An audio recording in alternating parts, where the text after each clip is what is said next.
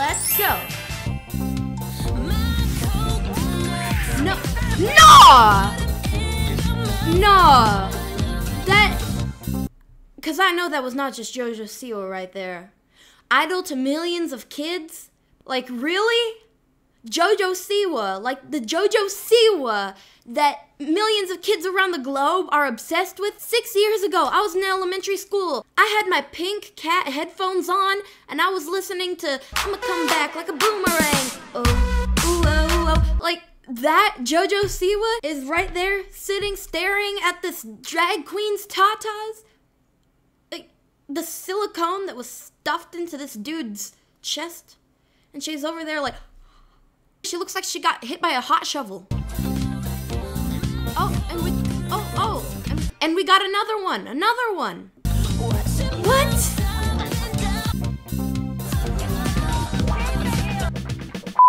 occurred to me I should be recording this. Um, this is me, uh, one month on testosterone. Oh, This is God. me two months injecting myself with the T virus.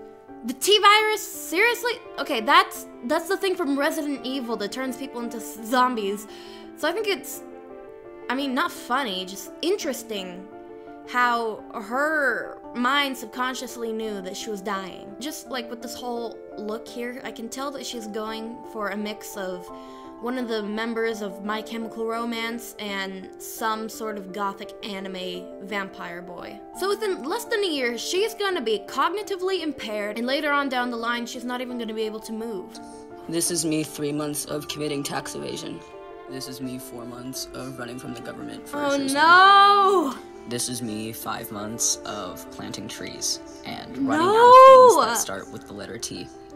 This is me six months. This is on, horrifying! Um. Of drinking tea.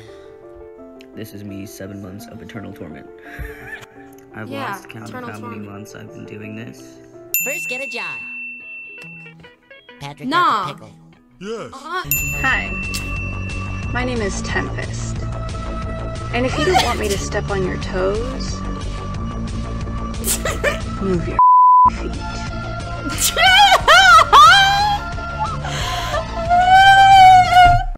It's not enough just to respect the pronouns. No, no, no. You gotta move your feet. Also, just uh, look the other way when she talks to you. I'm gonna tell you something. This screams girl who watched way too many anime boys and learned behavior from them. Because what the, what the heck?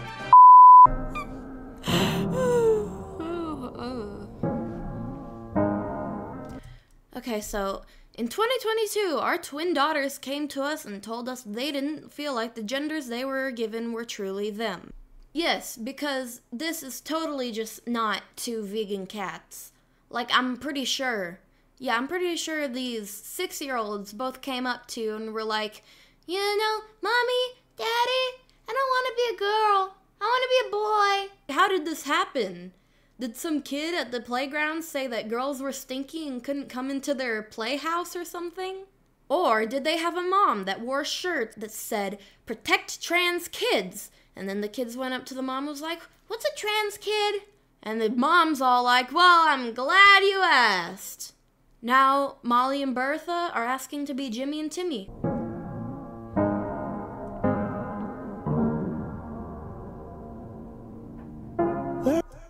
Our son told us he was transgender, and our child told us they didn't feel like a boy or a girl. Yes! Because these kids definitely knew about this without you even having to tell them.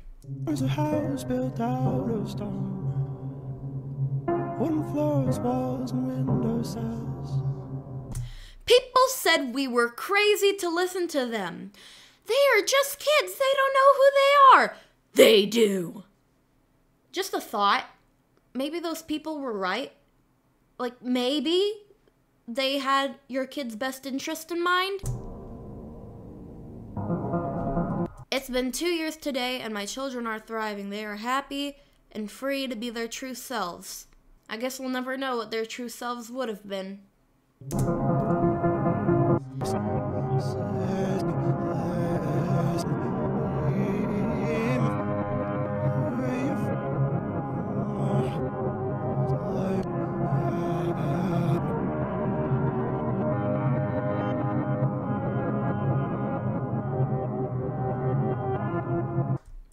I don't doubt that they have amazing hearts. It's nobody's attacking your kids. The real problem is you. You know, I know we're not here. that literally just made. Oh, that is disgusting. You know what, What a girl's that? best friend is? The red lipstick. What is that? Oh! Ah!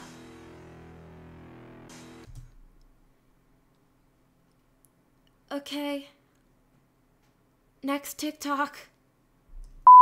I know that you're not gonna like hearing this, but abortion is also a men's issue and a trans issue. We are at the one year anniversary of the Supreme Court overturning Roe v. Wade, and I think folks still don't know that abortion is an intersectional issue. Abortion is a trans Read between the lines.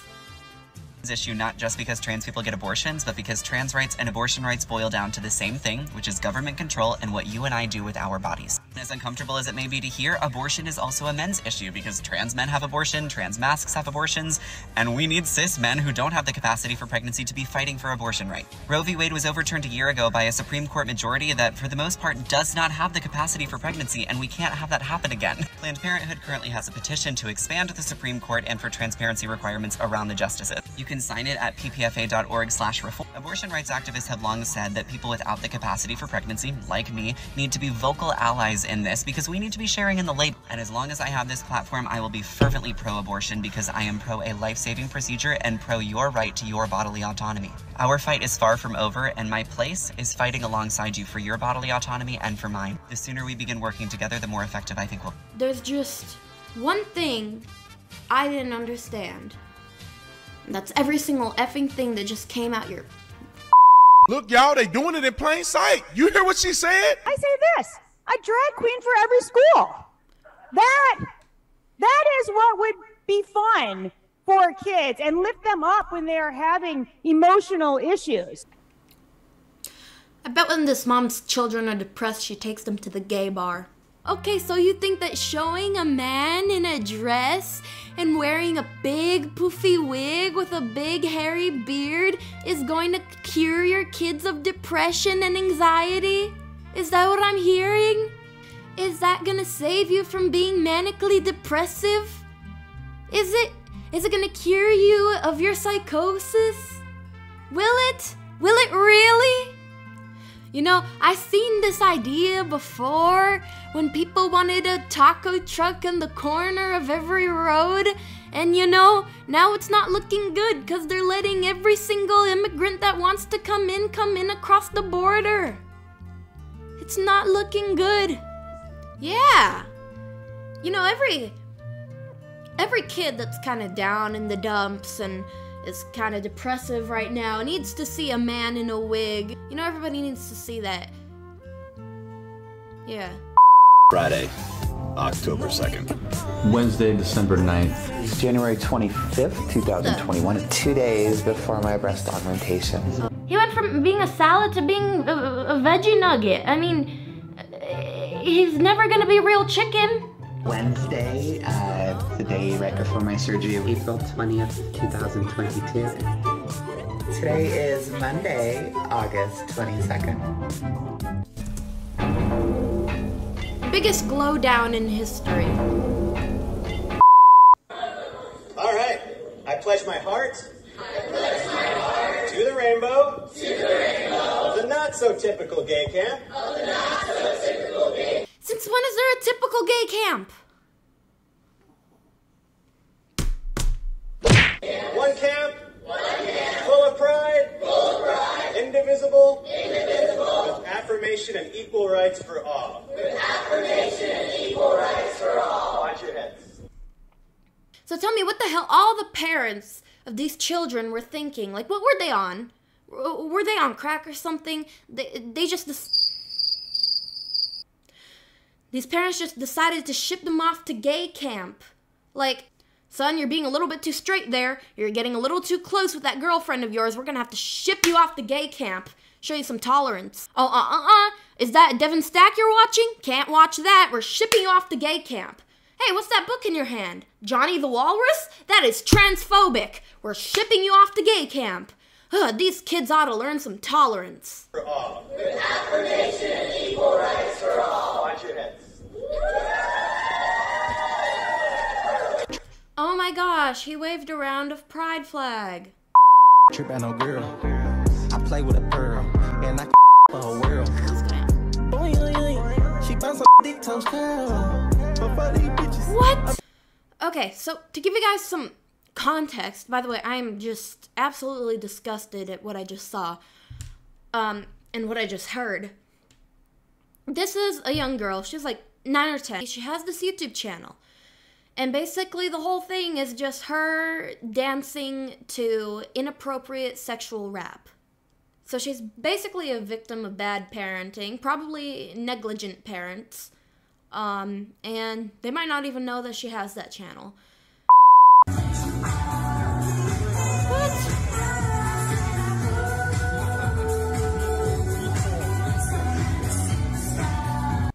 Don't do my Spice Girls like that. Oh. Uh, uh, uh, away from the kids, please. This young gentleman's giving him a tip. How lovely. Why can't these people keep it in their pants and keep their fetishes away from the kids? Why? Is it really that hard to leave the kids alone? They don't want all of this.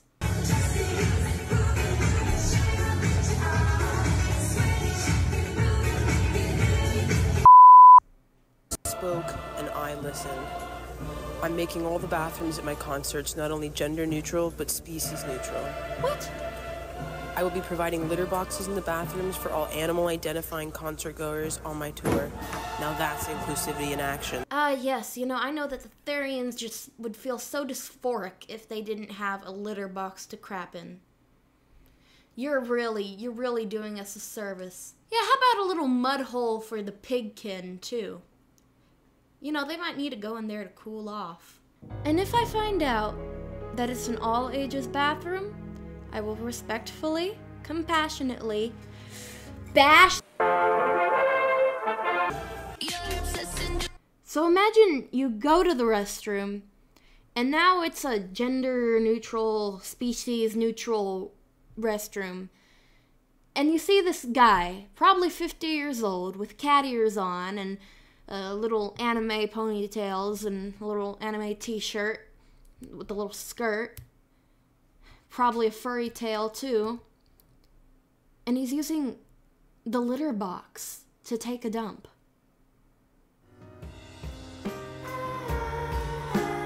I think I think I'd cry. I think I'd go home, cry my eyes out and then bleach them. Não entendo essas pessoas que vão fazer plástico e dizem, ah, eu quero que fique natural. Que natural, mana? Natural, deixa do jeito que tá, tudo arriado. Garota. Quero que fique com cara de plástico. Eu quero que gritem na rua plastificada. Garota, cala a boca. Ô, oh, mano, você quer se entupir de silicone? Você não vai ficar Barbie, não. Você vai ficar uma garrafa de Coca-Cola. Quando eles te enterrarem, você nem vai ser biodegradável. Você vai acabar nessa ilha de plástico que flutua no oceano. If you get the people bottom uh, when you get your pulp Huh? What? Wait, wait. Um, it's like a gauge. Uh, you need to expand it uh, and stretch it like a muscle. Um, and in order for it to keep acting like a proper muscle, it has to stay active. You, you get what I'm saying? So it has to get used to opening and closing and opening and closing. Um, and if you spend too much time not teaching it in the early stages, um, it will close and forget how to open. Uh, so if you are years after, uh, it is still recommended that you give a tune-up if you are not utilizing it as often as you would like to. Um, and if you are, know that whatever you're this is the longest explanation I've ever heard of what's possibly the stupidest thing in the world. You're using inside it will become your new depth uh, in the sense that, let's say you had six inches, and now you're sitting at now, and you use something that's four. Um, sooner or later, it's only going to go to four. What? Um, because it will slowly forget. Even like it doesn't take. It's not nearly gay math, everybody. As quick as in like the first year, um, but it will still happen and it will sneak up on you. I went from six to about 3.54 3.5. What are you talking about? Four, not 3.54. I'm not that precise with it. I don't know how Stop you. Talk- um, but that. Okay, we get that you have a rot pocket, but would you please stop talking out of it? That's where I'm sitting at. And um, that is because years after my surgery, I just stopped for like months. Um, and it just slowly went bye bye. Um, so it's not something you have to do like every single day for the rest of your life. Um, but like a car, it needs a tune up. So just make sure you, you know, say hi to her if you want to use her. If you don't, let her close. I don't fucking care. You know what I mean? Or, you know, you could just not do that. I promise you, if you put your mind to it and you work hard and you never give up and you do not listen to the rejection, you can achieve anything that life throws your way. Oh my gosh, guys, it's literally a slap in the face to see a man doing woman face as the mascot for International Women's Day. Are you are you kidding me? Why can't we just have this one thing? His whole caricature of a woman is just a big bimbo pick me stereotype. And you know what? At this point, I'm not even completely blaming him. I'm blaming the people who are propping him up. Ay, vey. Because he's doing such stupid stuff, but people are still propping him up. And you know, when you see a crazy person on the street talking to themselves, doing crack or whatever, you leave them alone. You don't promote them. You don't give them a global stage and say, hey, look, she, they outfit of the day. By the way, literally nobody came to that event. Anyways, guys, that's it for this video. I hope you guys hated these TikToks but loved my reactions. Don't forget to drop a like and subscribe. Remember, boys, be fruitful and multiply. Don't be fruity and kiss a guy. That's all I got for you today. Bye.